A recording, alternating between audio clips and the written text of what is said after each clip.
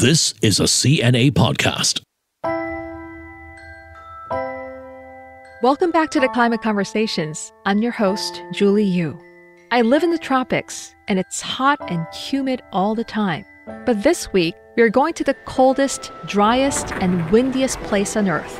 Antarctica is not a place built for humans, but for scientists, this barren land is fertile ground for new discoveries. This trip to Antarctica has been the most important trip of my life. That's Professor Benjamin Horton, director of the Earth Observatory Singapore, speaking during his expedition to Antarctica. He's been studying the climate for almost 30 years.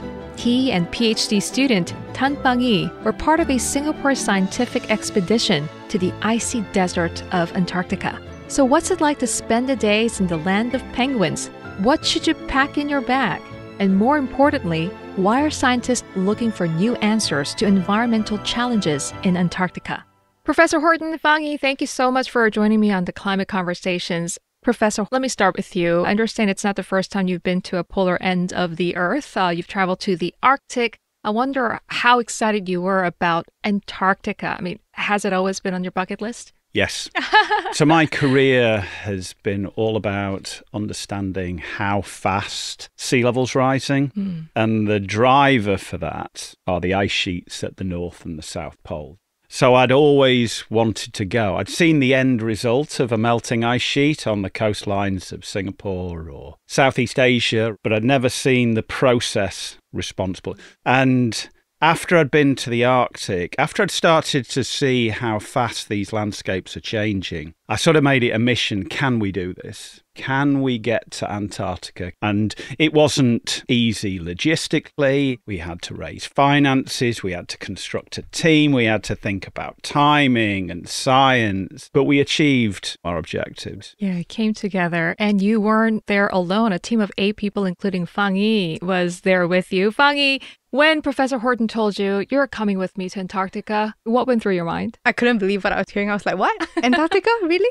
A lot of what I do in my PhD is like trying to study sea level changes in tropical regions. A lot of it is in response to the melting of ice sheets in the past. So I've read about the processes of ice sheets and how that relates to sea level. So then when Ben was like, Do you want to go? And I'm like, Yes, because I want to see these things that I've been reading about. I mean, Antarctica is known to be the coldest place on Earth, certainly not for the faint hearted. Were there a lot to pack? Did you have to mentally and physically prepare yourself to, you know, get yourself ready for this expedition? I mean, you know, you live and work in a tropical location, so you have to make sure you've got the appropriate clothing. We were going to live and work on a boat, so you need to make sure that that's going to be okay for you, seasickness. And then I went there with quite an open mind. A lot of people had said to me that it will be a little bit of a life changer for you. You will be there and it will be unlike anything you've ever experienced or seen. So I would say, yes, you do get mentally prepared. Our best intentions was to pack all our luggage. And then when we arrived in the southern part of Chile, our baggage went missing. So that was a No. bit of a panic. Like if all the things that can go wrong, I mean, you can miss your flight. I was, I was a bit concerned about that. You can lose things, you know, your passport or your visas or what have you. But our luggage was key. Did you get it back? Yeah, we got it like six hours before we were supposed to get on the plane, but it was a bit nerve Like the clothing things, we lost our clothing. So then the following morning, we had to go to the shops there and buy everything. But then the science equipment was worrying. Otherwise, you know, you sat there going like, well, we come out here to do the science. It's not like you can nip back anytime soon. I mean, Antarctica feels like somewhere that's so, so far away, unreachable. Can you tell us how you actually get there, the modes of transportation, which route to take, and how long the journey was? We flew from Singapore to New Zealand and then we flew across the ocean to Chile. So we went to Santiago and then we changed the flight, domestic flight, to Punta Arenas, which is the southern tip of Chile. And then you fly across to King George's Island, which is in the South Shetland Islands. And then we get on a boat to then take oh us to my the goodness, Antarctic. that's quite a Peninsula. journey. And how It's long? does 60 usually- hours. 60 hours. That's the whole thing. It's not easy. Mm, not everyone has actually gone to Antarctica, but when we think of Antarctica, I'm sure many of us conjure up an image of white, majestic mountains, icebergs, untouched snow, and penguins. I don't know. What was your first impression? the scale.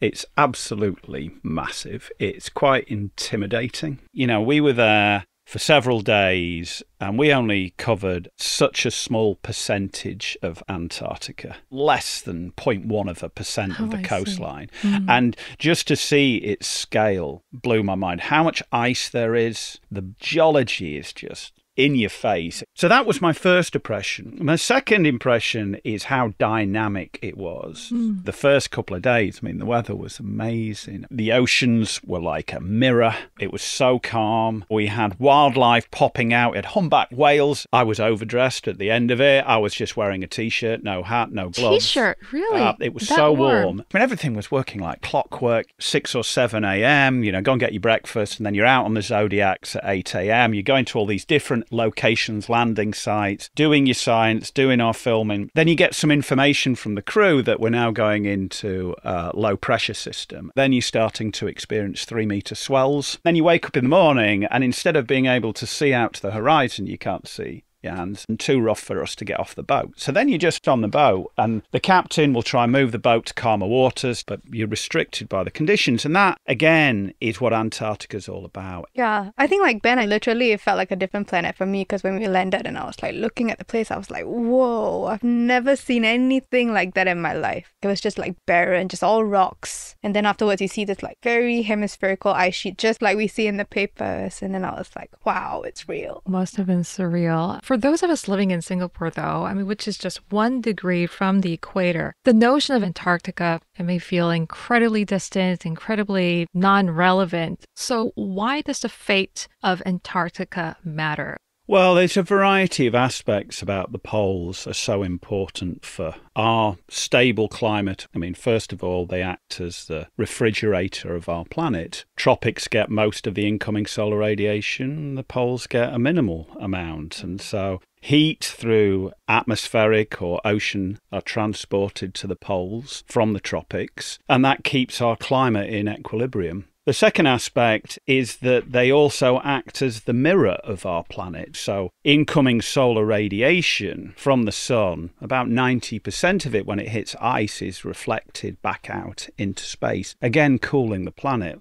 One of the big worries is that you have one of what's called a positive feedback is that if you lose the ice, the ice is replaced by either bare ground or in the Arctic and Antarctica by oceans. And oceans can only reflect around 30% of the incoming solar radiation. So you have this positive feedback. You warm up the planet, you lose ice, more radiation is absorbed. You warm up the planet, you lose more ice. And then finally, which is particularly pertinent to Singapore, is that every low lying coastal nation will be influenced by what happens at the poles because they can have so much ice. I mean, it's just so big. We're aware that that ice sheet has enough water contained within its ice to raise global sea levels in excess of 60 meters. And when a third of Singapore is only one meter above high tide, you can see why it's important. Absolutely. And this was a 10 day long expedition. You conducted a wide range of research looking at things from atmosphere to the ocean and, of course, the ice sheets. But as a person who's been studying climate change for decades, I wonder what surprised you and what didn't. That's an interesting question. I've not thought about what didn't surprise me. I mean, the fact that the weather conditions were harsh at times did not surprise me. That was what I was expecting.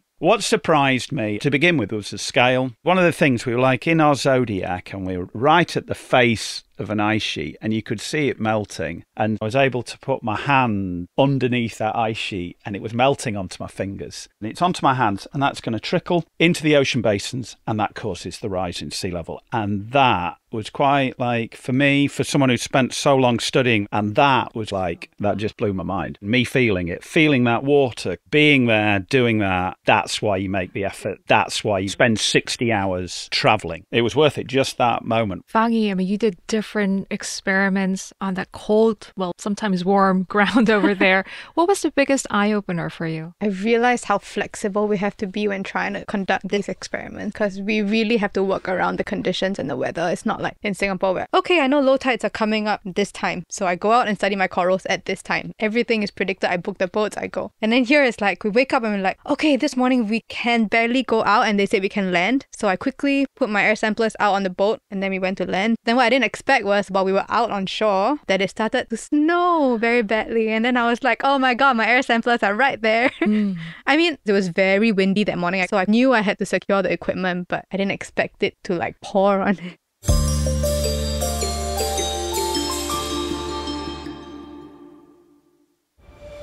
Hey everyone, my name's Steven Chia, and I'm host of CNA's weekly news podcast, Heart of the Matter. Now, each week, my job is to ask questions you have, like why is the COE so high?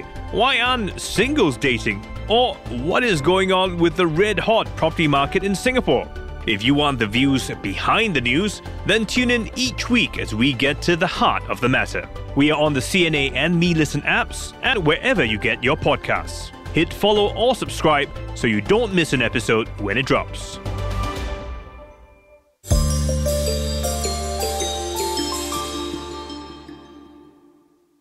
So let's talk about the decline of the Arctic Sea. Where are we right now in terms of this melting process? What's the status? One of our problems is quantifying that amount of melt. It's not an easy thing to do because there's a lot of natural variability. So, any individual year, if you want to compare the ice mass of Antarctica in 2022 to 2021, there's no scientist who can accurately say whether that's going to be positive or negative. But the scientific community will know over a decade that particularly Greenland is losing mass. Greenland's not small, it has enough water within it to raise global sea levels by seven metres. When we talk about sea level, Sea level is rising and it has a variety of factors that drive that. And the two global factors is the heat of the oceans, which is called thermal expansion. You warm up ocean water, the water molecules occupy greater space, and sea level goes up. And that's about 30 to 40% of the sea level rise we've been experiencing in the 20th and the 21st century. The second driver is ice. And the most susceptible ice are the glaciers that we have seen retreating, be it the glaciers in the Alps or the Andes or Alaska. But what we've been worried about as a scientific community is now the input from these ice sheets. Greenland is contributing significant amounts of meltwater into the oceans, and now Antarctica is. And the worry is because they are such big reservoirs. That's the concern. So you combine Greenland and Antarctica together, and it's 65, 70 meters of sea level rise within it. So you only need to melt a small percentage of those ice sheets and you raise global sea level by one metre, two metres, three metres, five metres. And if we think about Singapore, low lying coastal nations, it's been built up dramatically in the last 50 to 60 years. A third of this island is only one metre above high tide. And we are seeing some islands having disappeared already. And many governments are trying to put as many different strategies, installing seawalls, surge barriers, other coastal defenses. But can we actually slow it down? Do we still have a chance to turn things around? A lot of has to do with reducing our carbon emissions mainly. And because of the lag, the time that it takes the ocean to respond, even if we stop all carbon emissions today, it's still going to take some time for the oceans to respond. Sea level rise is going to still continue, but the difference comes after 2100. Like what's going to happen, the trajectories that we take will dramatically influence what sea levels could be in the future. So it really comes back down to what we do with our carbon emission. Depends on, in part, of decisions humans are making now. What did your findings at Antarctica Antarctica tell you about the ways could help us adapt better or mitigate climate change? Sometimes we just continue to repeat the same points. But,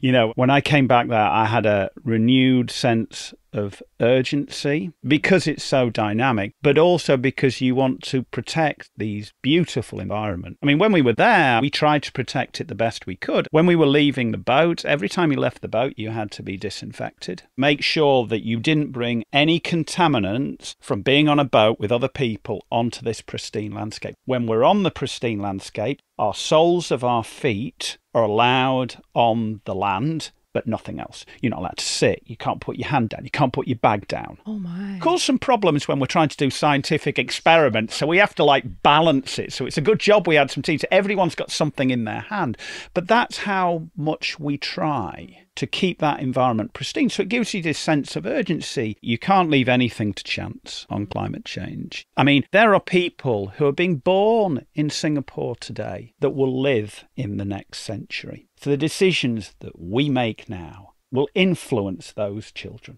I guess it's time that we wrap up, but would you encourage others to travel to Antarctica if they had a chance? We talked about being in there really feels very different but also the carbon footprint it takes to go all the way to Antarctica. So that's why I think when we were there, we wanted to make sure that we obtain multiple objectives at one time. We do research, we do communication, and we collected the air samples. And then also we were collaborating with someone else in our research institute who needs samples from Antarctica to calibrate their model. So then we also collected samples for them. And so it's all trying to like get the most out of our trip there. So hopefully what we do will help. Professor, would you encourage others to go? Well, I think uh, Fang Yi explained that correctly. I mean, for a scientist like ourselves, having the opportunity to go to Antarctica really cannot be missed. But do people need to go to Antarctica to see climate change? No. They need to think how hot it was in Singapore yesterday. They need to look at torrential downpours in rainfall that we've experienced over the last year to 18 months and how it's affected your commute into work. You can pick up any newspaper. There's always a climate disaster.